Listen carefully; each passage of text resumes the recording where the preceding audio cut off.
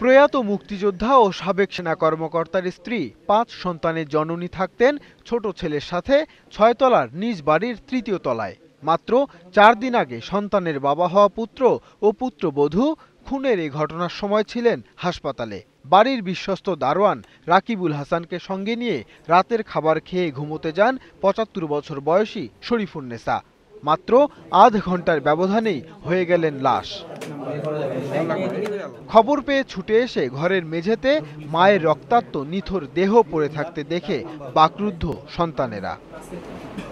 কি কারণে খুন হলেন এই বৃদ্ধা বলতে পারছেন না নিকট স্বজন প্রতিবেশীরাও। চুরি ডাকাতির কোনো আলামতও ছিল না গোটা ফ্ল্যাটে, শুধু পড়ে থাকতে দেখা গেছে একটা ফাইল।